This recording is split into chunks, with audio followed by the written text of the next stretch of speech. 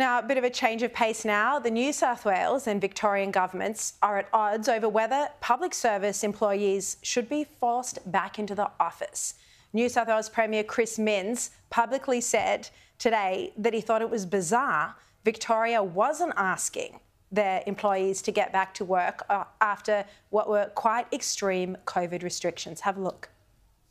I've seen the Victorian government knock New South Wales for this change. We're not for changing. We think it's important for the public service in New South Wales.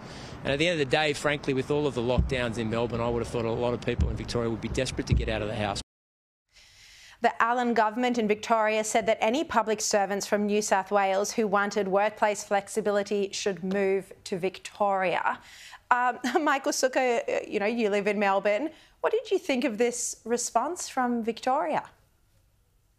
Well, they were smart aleck words from a premier who's uh, basically running an insolvent government. Let's be frank here, and uh, the premier has been a part of every single decision, uh, woeful decision that has led Victoria to the position we're in now. Uh, I think the premier of New South Wales has made a pretty self-evident call today. In many respects, it follows what the corporate world is already doing, and uh, I think the, the truth is of public servants, they are there to serve the public good, and the vast majority of them want to do so, uh, but they need some leadership. And um, this sort of smart smart aleck line from the Victorian Premier, um, I mean, they are the worst performing government in this country behind Anthony Albanese's government.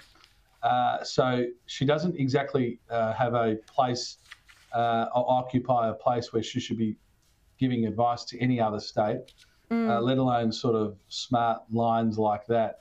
Uh, mm. Uh, this is sadly Victoria, a government that's seeing business leave our state, investment leave our state, uh, and on so many metrics, uh, Victoria, which occupied, um, and I'm a very parochial Victorian, but Victoria, mm. which occupied the upper echelon of virtually every single economic statistic in this country is now right at the bottom of the ladder. And I would have thought someone like the Victorian Premier would try and take some advice and look at what other states are doing.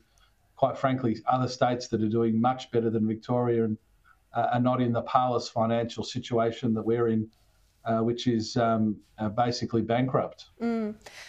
Look, aside from the um, budget bottom line, Bronwyn, I think Chris Minns is showing time and time again that he is the model of what a, a centrist Labor politician should look like. I mean, wh- whatever the issue is, he mostly takes a very mainstream, sensible standpoint. I don't think I can endorse him on everything, but I can certainly do so on this issue. I think it's uh, he's realised there is no productivity growth, that he's decided uh, that he's going to insist there be some. And Michael, I feel very sorry for you down there in Victoria, having to live with that appalling government. It's a basket case. But, um, and everyone watching who's and, in Melbourne. And everyone watching, indeed, indeed. Uh, and you don't deserve it, but you really have to vote them out to get a change. But if you go back to this question of productivity generally, there is none while there's work from home uh, is become such a norm. Mm. People say, oh, you can't go back. Well, yes, you can.